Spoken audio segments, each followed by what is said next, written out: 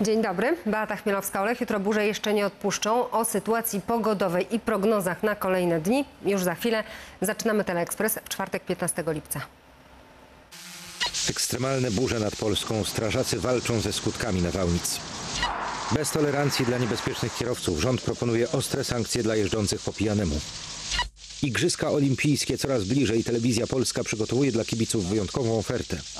Rocznica największej bitwy średniowiecznej Europy. Pan Ireneusz stworzył kopię słynnego obrazu Jana Matejki.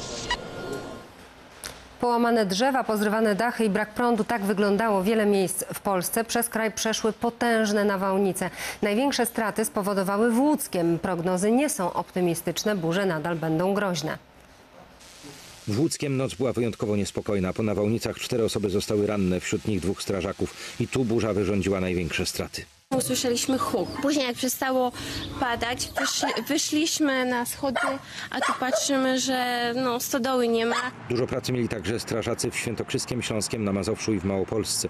Głównie zajmowali się wypompowywaniem wody z zalanych budynków, zabezpieczaniem zerwanych dachów czy usuwaniem połamanych drzew. Meteorolodzy ostrzegają, w całym kraju pogoda nadal będzie groźna. Spodziewamy się silnych, gwałtownych burz e, z dużymi opadami deszczu dochodzącymi lokalnie nawet do e, 50-60 mm oraz z porywistym wiatrem. Taka burzowa aura utrzyma się do soboty.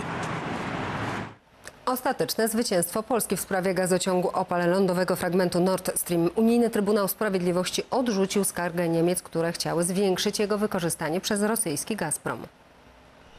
Gazprom może wykorzystywać tylko 50% przepustowości gazociągu Opal. W 2016 roku na wniosek Niemiec Komisja Europejska umożliwiła Rosjanom jego pełne wykorzystanie. Polska wniosła do Unijnego Trybunału o stwierdzenie nieważności tej decyzji i wygrała.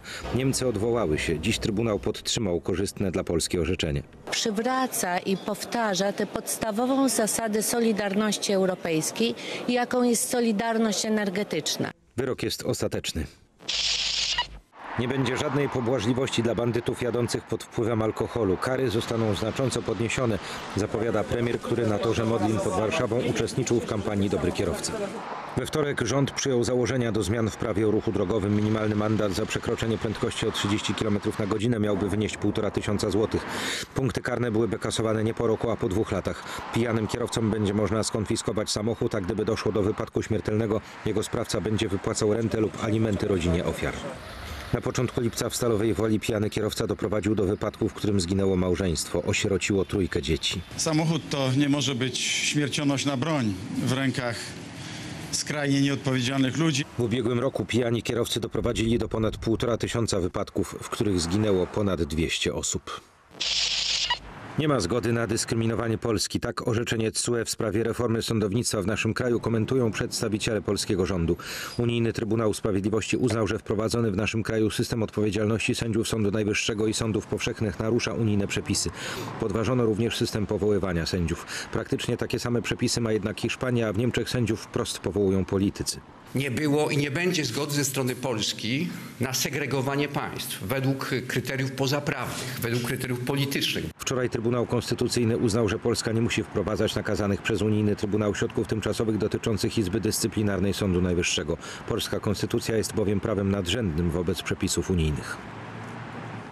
Już niedługo oczy całego świata będą skierowane na Tokio. 23 lipca ruszają letnie Igrzyska Olimpijskie. Na antenach telewizji polskiej aż 30, 350 godzin relacji na żywo. Nic nie umknie Państwa uwadze. Polska reprezentacja liczy ponad 200 zawodników. Ich walkę o medale będzie można śledzić na bieżąco. Telewizja Polska pokaże wszystkie konkurencje z udziałem naszych sportowców. Mam taką nadzieję, że w trakcie Igrzysk Olimpijskich w Tokio, dzięki telewizji polskiej, polskie społeczeństwo nie tylko będzie przeżywało wspaniałe emocje, Telewizja Polska w olimpijskiej formie i zespół telewizji polskiej z TVP Sport na czele w olimpijskiej formie zapraszają Państwa na niesamowite emocje 32 Igrzysk Olimpijskich w Tokio. Już nie możemy się doczekać. Do zobaczenia przed telewizorami. Transmisję igrzysk widzowie będą mogli oglądać w TVP1, TVP Sport, na stronie tvpsport.pl oraz w aplikacji mobilnej. Zawsze Polakom, sportowcom kibicuję. I tym razem oczywiście tak samo będzie. królowa sportu lekkoatletyka, więc tutaj niewątpliwie nie niewątpliwie liczę na, na e, medale. Zmagania olimpijskie będą relacjonowane przez najlepszych polskich komentatorów oraz ekspertów z poszczególnych dziedzin.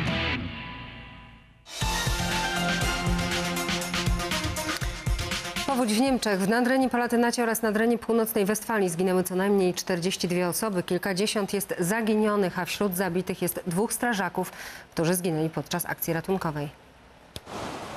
W powiecie Arweiler ogłoszono stan klęski żywiołowej. Najgorzej jest w mieście Schuld, gdzie po ulewach zawaliło się kilka domów. Kolejnym grozi zawalenie. Podczas burz w północnej Nadrenii Palatynacie spadło do 150 litrów deszczu na metr kwadratowy. Ponad 200 tysięcy gospodarstw domowych nie ma prądu. Zalane jest też południe i wschód Belgii. Nie żyją cztery osoby, tysiące ewakuowano. Francuzi tysiącami wyszli na ulicę w reakcji na poniedziałkowe orędzie prezydenta Emmanuela Macrona. Zapowiedział obowiązkowe szczepienia dla personelu medycznego oraz dostęp do placówek kulturalnych, lokali gastronomicznych i środków transportu wyłącznie dla osób z certyfikatem covidowym.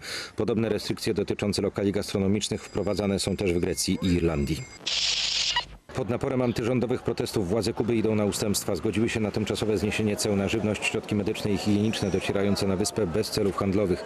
To jeden z postulatów manifestantów, którzy od niedzieli protestują w kilkudziesięciu kubańskich miastach. Dotychczas aresztowano ponad 5 tysięcy osób, jedna zginęła, a blisko 200 jest zaginionych. Auto z hollywoodzką sławą do nabycia to Porsche 917K, którym Steve McQueen ścigał się w kultowym filmie Le Mans. W sierpniu trafi na aukcję w Monterey. Auto ma za sobą wzloty i upadki, zostało jednak pieczołowicie odrestaurowane. Ten rumak ma szansę wyprzedzić konkurencję i zostać najdrożej sprzedanym Porsche w historii. Szacowana cena to nawet 18 milionów dolarów. Wracamy do kraju. Roczny pies miał w ciele 56 pocisków, z tego 26 w głowie. W takim stanie znaleziono postrzelone zwierzę w Czarnkowie w Wielkopolskiem. Na początku lipca policja szuka sprawcy tego bestialskiego czynu, a za jego wskazanie anonimowy darczyńca zaoferował 10 tysięcy złotych. Jest także nagroda od wójta Czarnkowa. Piesek trafił do schroniska w Obornikach, a stamtąd do kliniki weterynaryjnej. Mimo okropnych przeżyć cierpliwie poddaje się wszystkim zabiegom. Przeszedł pierwszą operację usuwania śrutu. Teraz trwa walka, by mógł chociaż widzieć cienie i kontury. Każdy może wesprzeć internetową zbiórkę na leczenie skrzywdzonego psiaka, który dzielnie walczy o życie. Leczenie szpitalne z powodu koronawirusa osób w pełni zaszczepionych zdarza się bardzo rzadko. Tak wynika z badań polskich naukowców. Trwały kilka miesięcy w czterech dużych ośrodkach klinicznych. Osoby w pełni zaszczepione stanowiły zaledwie 0,15% wszystkich osób hospitalizowanych. Wyniki badań potwierdzają zatem wysoką skuteczność szczepionek przeciwko koronawirusowi. Na ratunek po eksplozji bomby wyglądało bardzo realistycznie, ale na szczęście to były tylko ćwiczenia. Przeprowadzono je w Katowicach w podziemiach jednego z wieżowców. Cel ćwiczeń to współdziałanie ratowników medycznych, żołnierzy i policyjnych pirotechników. Na Śląsku policyjni pirotechnicy są wzywani znacznie częściej niż w innych regionach. Po wojnie pod ziemią pozostało wiele niewybuchów. Za chwilę u nas przysmaki dla rosiczki, muchołówki i kapturnicy, a potem kolejne tematy. Oto skrót. Przedstawiamy Państwu Karmelka. Jest alpaką i skradł serca bywalców muszyńskich ogrodów. Kolejne polskie straty wojenne odzyskane powróciły do Muzeum Narodowego w Warszawie. Legia Warszawa pokonała pierwszą przeszkodę na drodze do Ligi Mistrzów. Chce pokonać 80 tysięcy schodów i zrobić to w 4 dni. Robert Ciulkin, były mistrz e, świata w kickboxingu, postanowił wbiec 114 razy na wieżę kościoła Świętego Rocha w Białymstoku. W sumie pokona wysokość 8892 metrów i wdrapie się wyżej niż na Monteverest. Jest ciężko, e, jest wojna, ale robimy to bardzo w szczytnym celu. Chce w ten sposób nagłośnić zbiórkę pieniędzy dla 16-miesięcznego Nikodema Wasilewskiego. Chłopiec choruje na SMA typu pierwszego. Na terapię genową potrzeba ponad 9 milionów złotych. Na koncie brakuje jeszcze miliona. Ortopedzi i radiolodzy ze Szpitala Uniwersyteckiego w Krakowie pomogli pacjentce z ogromnym przerzutem nowotworowym do kości ramiennej. Usunęli rozległego guza i jednocześnie wstawili endoprotezę. Gdyby nie ta operacja, kobiecie groziłaby amputacja całej ręki. Lekarzom nie tylko udało się ją uratować, ale co ważniejsze, zachować też jej wszystkie funkcje ruchowe. Palmy, zachód słońca i on. Oto zwycięski projekt muralu upamiętniającego Krzysztofa Krawczyka, który niebawem wmaluje się w wizerunek Opola. Powstał on w ramach konkursu muzycznej trasy murali. Ozdobi ścianę kamienicy przy ulicy Krakowskiej. Autorem jest Bruno Neuhammer. Oficjalne odsłonięcie zaplanowano podczas tegorocznego Festiwalu Piosenki Polskiej. Lubią dobrze zjeść i nie grymaszą. Zadowolą się owadem, którego sobie same zwabią, złapią, a później strawią. We Wrocławskim Ogrodzie Botanicznym kwitną rośliny mięsożerne. Rosiczki, muchołówki, kapturnice. Nie chodzi o to, że apetyt mają wilczy. Tłumaczą się tym, że po prostu brakuje im azotu. Ich liście to pułapki. muchołówki, które pięknie zamykają e, liście pułapkowe z, z wypustkami, e, nawet groźnie wyglądają jak paszcze jakiegoś strasznego stwora. Jedne gustują w muchach i pająkach, inne skuszą się na mrówki czy komary i tak rosną sobie jak na drożdżach. Nimfy, faliste, nierozłączki uciekają jedna po drugiej. W Poznaniu Straż Miejska ma mnóstwo wezwań do egzotycznych uciekinierów wypatrzonych na rodzimej lipie czy topoli. Ara, żako czy y, inne gatunki uciekają z tych hodowli, no my się nimi y, później zajmujemy. Tylko w czerwcu straż przewiozła do azylu blisko 160 ptaków.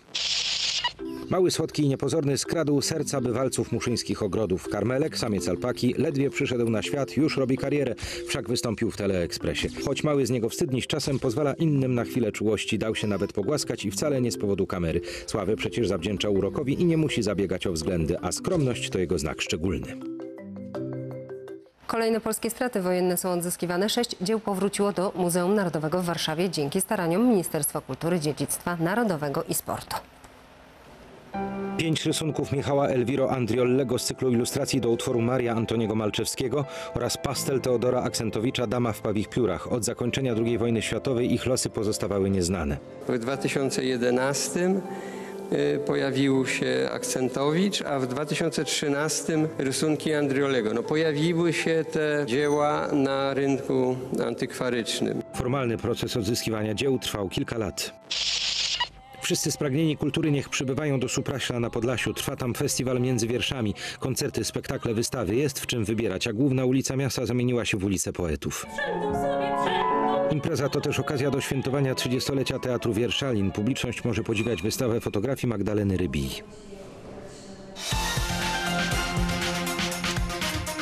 Legia Warszawa awansowała do drugiej rundy kwalifikacji piłkarskiej Ligi Mistrzów. W drugim meczu z norweskim Body Glimt podopieczni trenera Czesława Michniewicza wygrali 2 do 0. Legioniści na początku oddali inicjatywę. Goście mieli okazję, ale do siatki nie trafił Erik Boteim.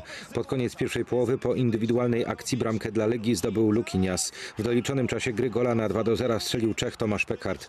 Następnym rywalem legionistów będzie estońska Flora Tallinn już w najbliższą środę w Warszawie.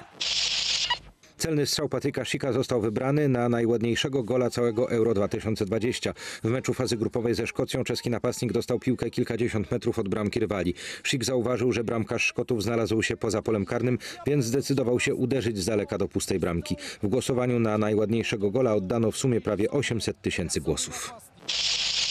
Cztery rekordy świata zostały pobite pierwszego dnia zawodów Vertical Blue na Bahamach. W konkurencji Fin najlepszy był Rosjanin Aleksiej Molczanow. Zanurzył się on na głębokość 126 metrów. W dyscyplinie CWT bardzo dobry wynik 115 metrów uzyskała Włoszka Alessia Cecchini. Kilka minut później o 3 metry ten rekord poprawiła Słowenka Alenka Artnik. Jako ostatni do grona rekordzistów dołączył Francuz Arnaud Geral, który z wynikiem 116 metrów był najlepszy w dywizji CWTB. Redaktorzy muzyczni Teleekspresu przedstawiają artystę z którego utwór ma szansę stać się hitem wakacji. Proszę bardzo, Marek Sierocki. 611. rocznica bitwy pod Grunwaldem była to największa bitwa w historii średniowiecznej Europy. Siły polsko-litewskie odniosły spektakularne zwycięstwo nad zakonem krzyżackim. Wiktoria Oręża Polskiego fascynuje do dziś wielu historyków i artystów.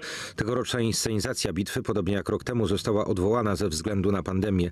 Artysta Ireneusz Rolewski postanowił uczcić rocznicę wielkiego zwycięstwa Polaków, odsłaniając pierwszy raz ukończone dzieło. Pracował 6 lat nad kopią obrazu Jana Matejki Bitwa pod Grunwaldem. Czuję się właściwie całkiem y, fajnie, bo w końcu oglądam obraz w całości. Oglądam go w ramie, zresztą oryginalnej ramie, która była poddana renowacji. W trakcie malowania obraz śnił się artyście po nocach. Miałem różne dziwaczne sny związane z tym obrazem. Były takie momenty, że już byłem w takiej fazie, że prawie rozmawiałem z tymi, co tam y, są przedstawieni. Ale chyba mu się nie śniło, że jego bitwa pod Grunwaldem będzie wystawiana na całym świecie. Gratulujemy panu artyście, państwu dziękujemy. Miło było, ale się skończyło. Wracamy jutro. Zapraszam w imieniu Krzysztofa Ziemca. Za chwilę Teleekspres Ekstra.